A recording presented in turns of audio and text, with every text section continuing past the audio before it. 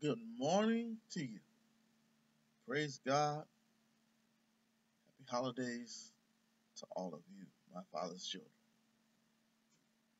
This is Apostle Shon Simpson, and I want to say to you, God bless you and God keep you.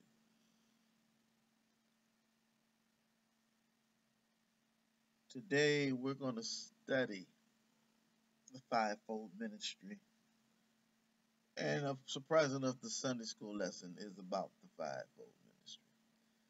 We are going to Ephesians chapter 4, beginning with the first uh, through the 16th verse. The theme is United We Stand. But I want to talk to you real close and I want you to be real clear about this.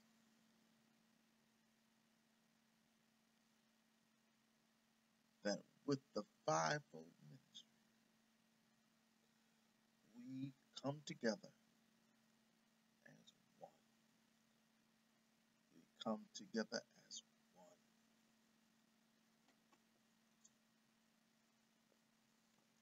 The Bible teaches us that there are certain telltale signs for the believer.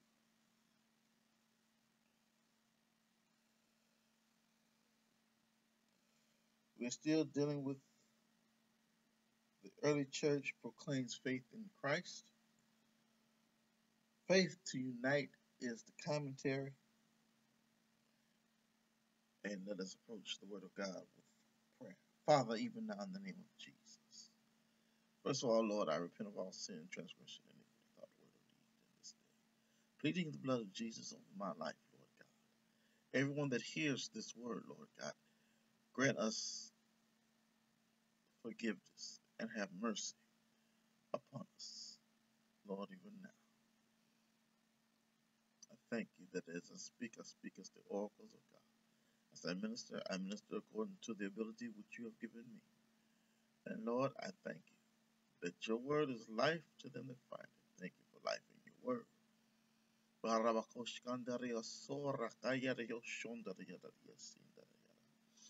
God.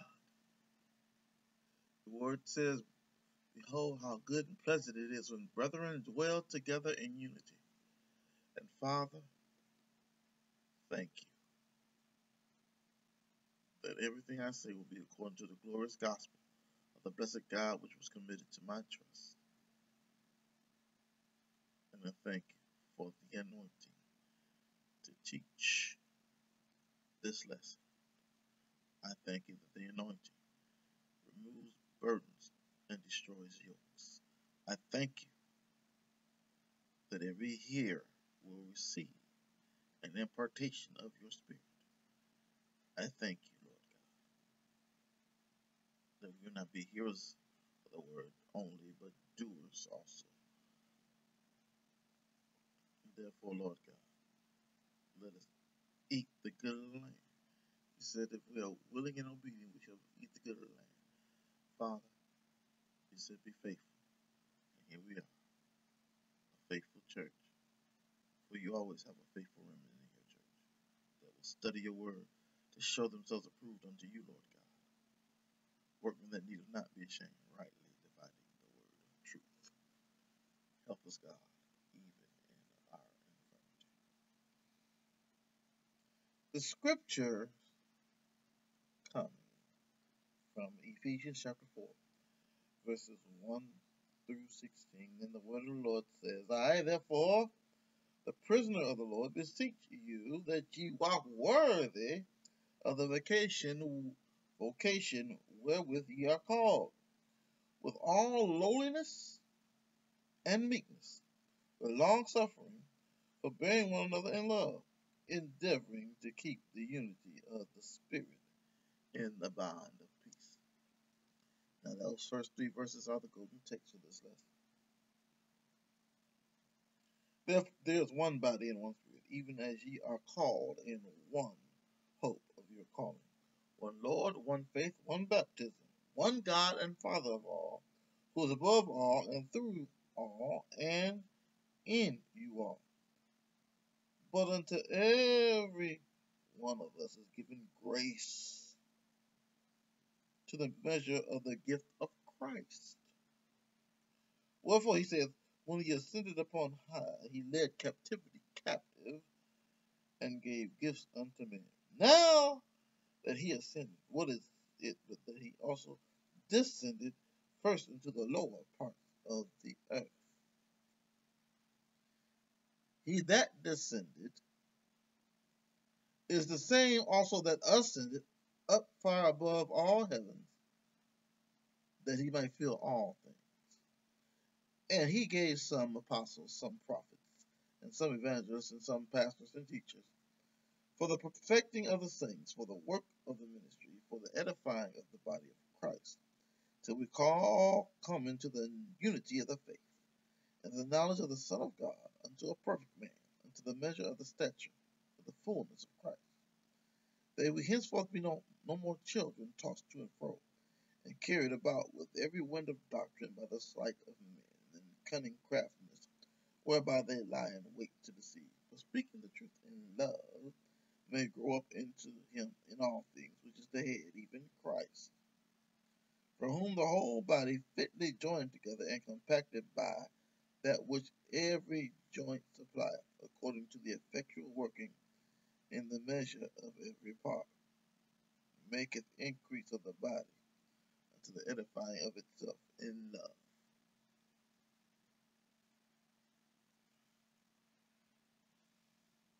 Now, the devotional reading coming from Psalm 68. Psalm 68. Verses 1 through 6, 15 through 20, and 32 through 35. You read that on your own time. But if we understand Ephesians 4, these first 16 verses, they teach us about the unity of the Spirit, the unity of the body, the oneness of God, and the oneness of the church. One church. Many members, one body. Paul writes to the Ephesians, and if you are a minister, this should apply to you. It applies, it applies to all of us who are ministers of the gospel. I, therefore, the prisoner of the Lord, beseech you that you walk worthy of the vocation wherewith ye are called. What is that calling? The calling to preach the gospel of Jesus Christ. With all lowliness and meekness, that means humility with long suffering, patient, forbearing one another in love. Everything works with love. Faith worketh by love. Everything in the kingdom works by love. Endeavoring to keep the unity of the Spirit in the bond of peace. The Lord Jesus said, Peace I give you, my peace I leave with you. Why? Because He is Yahweh Shalom. He is our very peace. The Lord of peace. The Lord is peace. And one of the characters or the fruit of the Spirit peace. And He deals with three or four, the fruit of the Spirit. Loneliness, and meekness, long suffering, and love. There is one body, 1 Corinthians chapter 12 teaches us about the body of Christ. One body, many members, baptized into one body. one Spirit, the Holy Ghost. If any man have not the Spirit of Christ, he is none of his.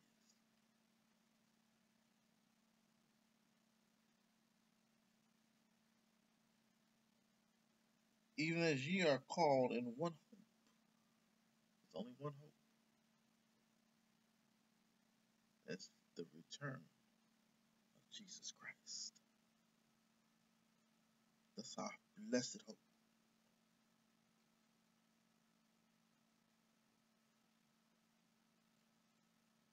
One Lord. Number one. Hear, O Israel, the Lord our God is one Lord. And thou shalt love the Lord with all thy heart, with all thy soul, with all thy might.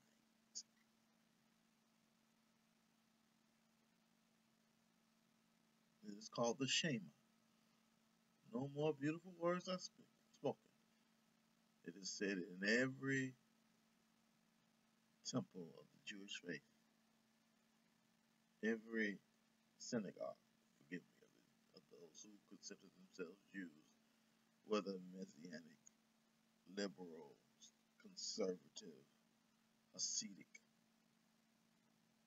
Kabbalist, they all come with this one agreement. Hear, Israel, the Lord thy God is one Lord.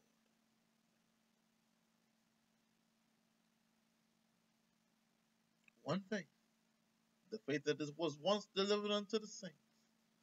And what is that faith? The faith that Jesus Christ came into this world. One faith. That Jesus not only did he come into this world, he was born of a virgin. He walked this earth 33 years. He ministered under the anointing of the Holy Ghost from ages 30 to 33.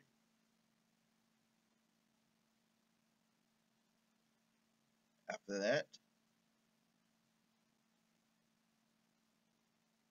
he was arrested as a common criminal for treason. He was beaten and whipped, tortured hall to hall.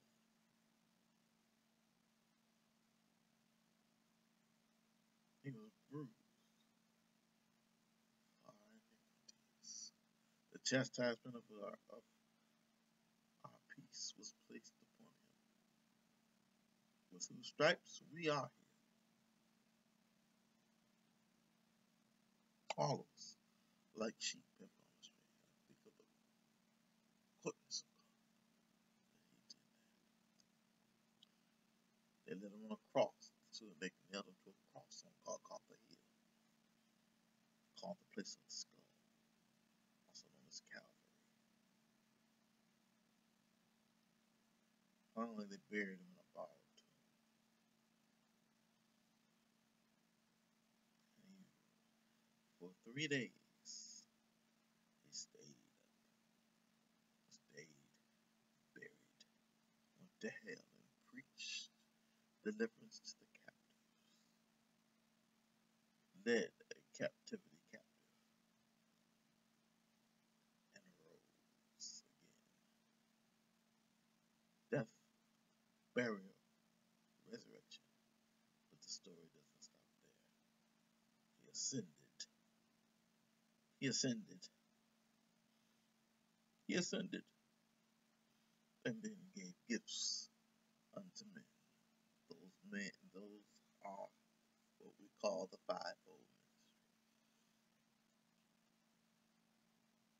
And he also did something so beautiful. He made a promise that he was coming back for his church, which is his bride. The church, the bride of Christ, Israel, the bride of God. Praise God. One God and Father, we've already established. But unto every one of us is given grace according to the measure of the gift of Christ. Now, here we're talking about the power of God operating through the believer. We're not talking about the unmerited favor of God, which is the beautiful definition that the grace of God which we all receive who come to Christ. This grace here is talking about the operating power, always working, It's energetic, It's, it keeps moving. It keeps moving. It's going like a river flowing, always fresh.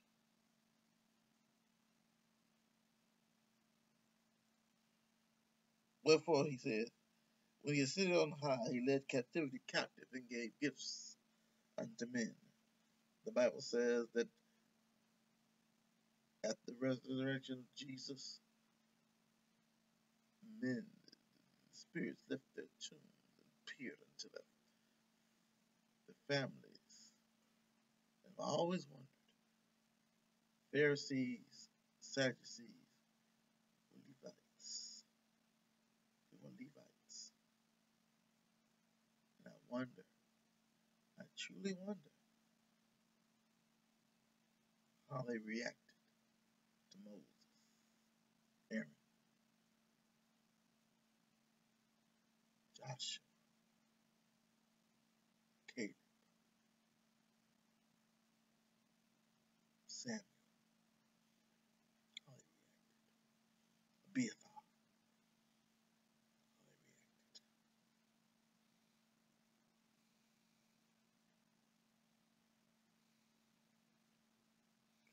reacted. And gave gifts unto men. Now he that now that he ascended, what is it but that he also descended first into the lower parts of the earth?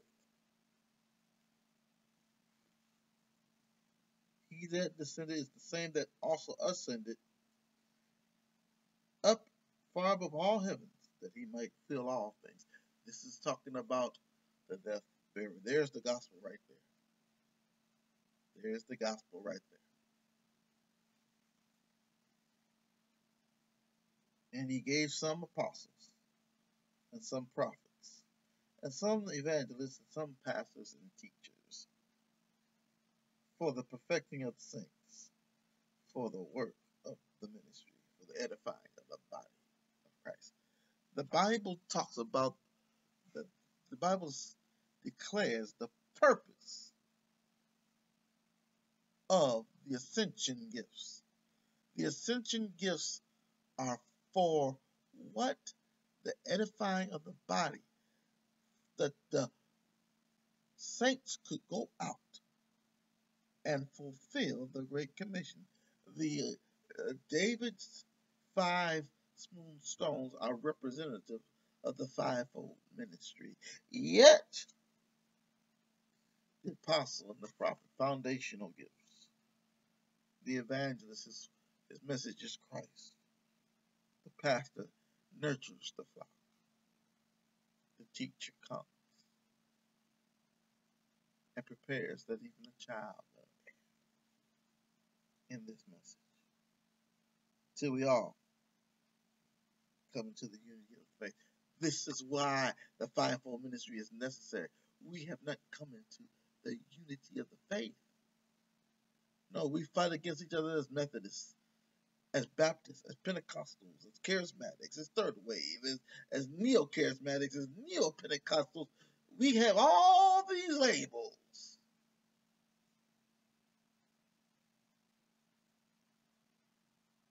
Yet God calls us for us to come into the unity of the faith. And of the knowledge of the Son of God unto a perfect man, which we have not attained. Until the measure of the stature of the fullness of Christ. What is the fullness of Christ? We won't see that till we get our glorified bodies. So until then, apostles, prophets, evangelists, pastors, teachers, apostles, their work is powerful.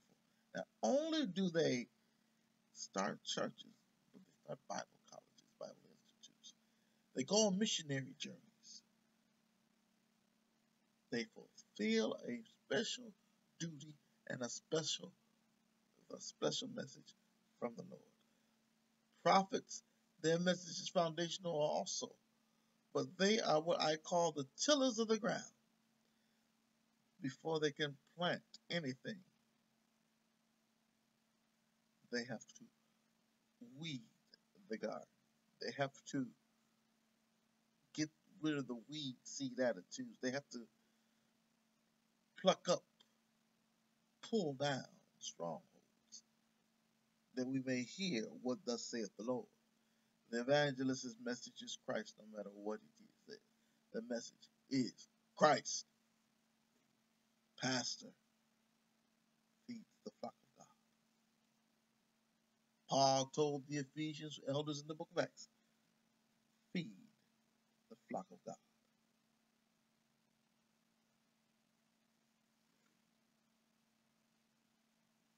Yet we miss the things and say this is no longer for today. My Bible teaches me in Romans 11 29 that the gifts and callings of God are without repentance. How dare you? God said He set in the church first apostles, secondarily prophets, third teachers. God said He put it in there. Church, you have no right to say God took out of His church what He placed in it. For the word of God shall not return to him void. For he is not a man that he should lie, nor is the Son of Man that he should repent.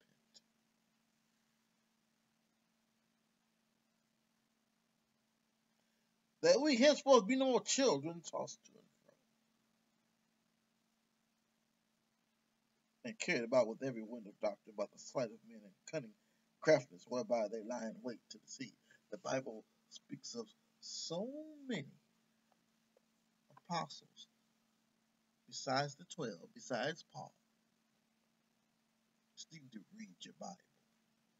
It speaks of so it speaks of prophets. You need to read your Bible. Evangelist Philip. Philip the evangelist, he had miracles in his ministry. What happened? Do we not want the miraculous in the church anymore? Do we not want the supernatural in the church anymore? Do we not want the spiritual gifts in the church anymore? Or, or are we surprised when it happens? That's why we're so surprised when we see a move of God, an obvious move of God.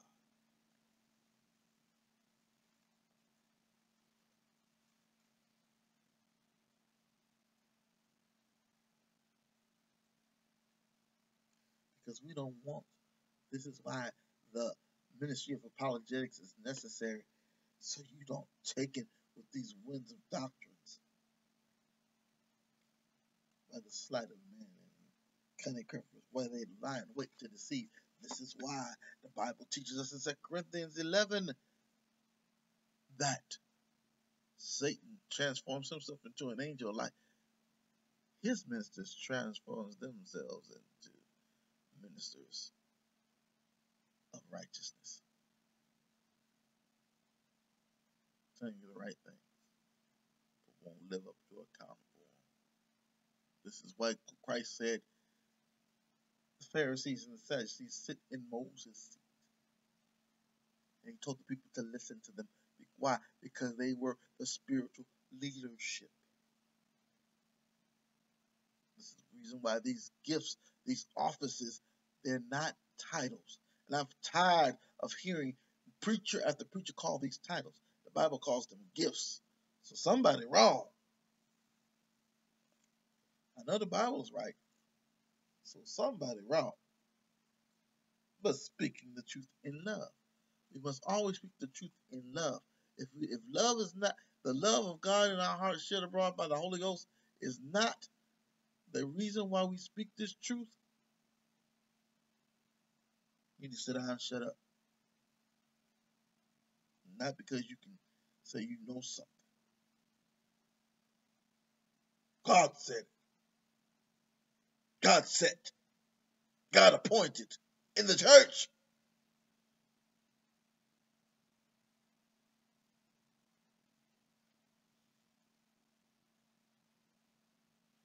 May grow up into him in all things, which is the head, even Christ.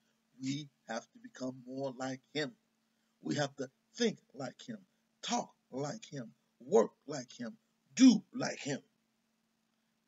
And don't tell me you can't because Jesus said, The works I do, him to believe, the works I do, him that believe, he shall also do, and greater work shall he do, because I go to my Father. Don't believe me, read John chapter 14. From whom the whole body fitly joined together and compact by that which every joint supplies, which every joint supplies. He didn't say that we got the right to, to judge God. Word, judge people. This person ain't, that person ain't. If you don't have the gift of discerning of spirits, shut your mouth when you speak against God's people. Find yourself in violation of touch not my anointed, uh, do my prophets uh, no harm. Who wants to go into that? I want to be there.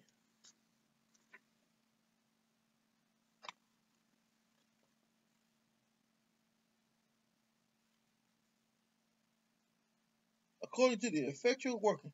See, again, the Spirit always working, always working, always working. Love in the, in the in the bond of peace, always working.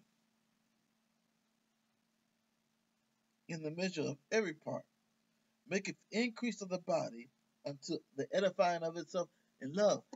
We stop need to stop fighting ourselves according to the, on doctrinal manners. We need to find ourselves strengthening ourselves. The Bible says iron sharpens iron. You need to sharpen one another, not degrade one another.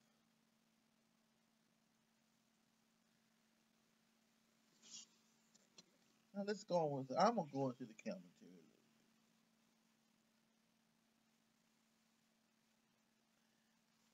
And it says, God has brought about many wonderful, a wonderful unity, and it is the responsibility of believers to maintain that unity under the anointed power of God. In other words, you can't do this in yourself. I don't care how many commentaries you read. I don't care how many Sunday school books you read. I don't care. As long as you must pray, you must get a relationship with God. You must study prayerfully, study His Word, get an understanding that only comes through having a beautiful, intimate relationship with Him through prayer and study of His Word. That you may receive a revelation, the spirit of wisdom and revelation in the knowledge of Him. Back in Ephesians chapter 1. See, all of this, this whole book from Genesis to Revelation, all speaks of Christ, speaks of his wondrous things that he will do, speaks of his death, burial, resurrection, ascension, and second coming. And if we do not understand those primary things, we can never grow We'll always be drinking the milk and never attempting to eat some meat. The consistent reference to the church as the body of Christ, with Jesus being the head, reemphasizes that the church is a living organism designed and destined to maneuver and grow and work with the Holy Spirit as the body's life source flowing through and in every part. If you're the tiny fingernail. Or if you have this beard, this mustache, this nose, the hair, the head, the forehead, the ears, the neck, all the way down to the foot, to the sole of the foot. You fit somewhere in this body, and you need to maintain that portion of the body.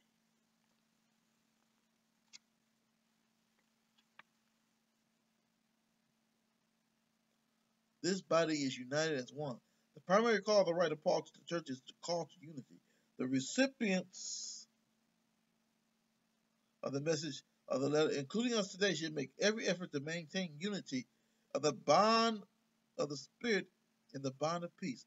The sevenfold use of the word one forms the center of a poetic statement regarding the church's unity. The list leaps forward from the oneness of a unified body and culminates with the oneness of God. Just as earlier parts of the book of Ephesians have identified God as the source of the church's identity, likewise, here we are taught that the unity of the church reflects the oneness of God. This is why we strive to walk worthy of our calling. We reflect and should, should with humility and love strive to keep unity and peace in the church. Every one of us has a divine call on our lives. This divine calling is not self-serving, serving, but designed to draw people to Christ and thus fulfill the needs of the body, united in faith.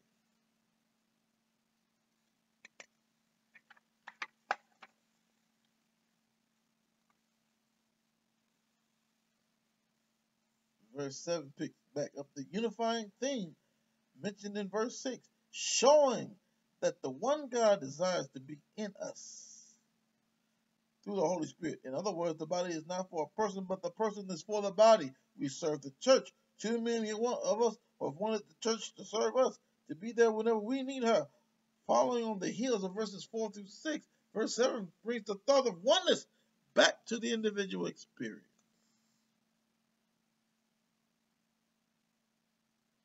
The believer's experience of God's grace relates to the logical of the oneness of the body. The measure mentioned by Paul in verse 7 is immeasurable by human standards, for it expresses an unconditional love toward us. Some take verse 9 to be a reference to the death on the cross and a visit into hell. Others count this as a descent from heaven to earth. Whatever your accepted interpretive belief may be, we should not downplay or miss the fact that Jesus came for us, died for us, and ascended for us, and is now sitting with the power to dispense what we need when we need it. Text is that it states that he gave gifts unto mankind. This means the gifts have already been dispensed. We call on Jesus for power when the power has already been dispensed. The Holy Spirit is active, always active in our lives. He has been dispensed and released to guide us to the full work and glory of God. Praise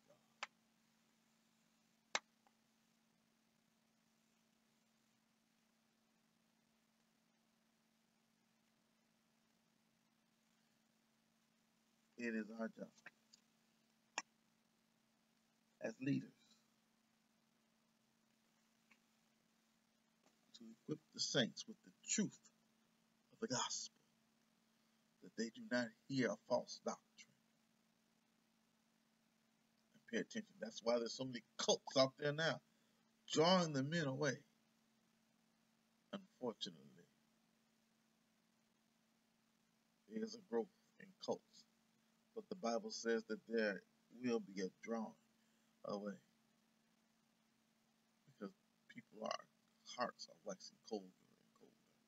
Don't believe me, go on YouTube and watch some of these folk who proclaim Jesus yet deny the power thereof.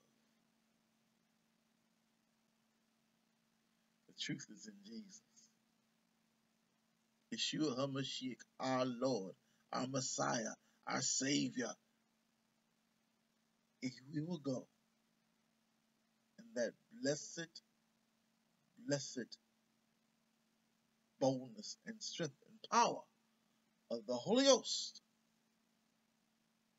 one Lord, one faith, one baptism, one God, who is all and through all and in all of us. That grace given to us, the gift is according to the grace work in the area of grace that God has gifted you to go and watch the body grow, strengthen itself in love. God bless you. God keep you. Now, in the love of God, the grace of our Lord and Savior Jesus Christ, and the sweet communion of the Holy Ghost rest, rule, and abide with you all until we all meet again in Jesus' name.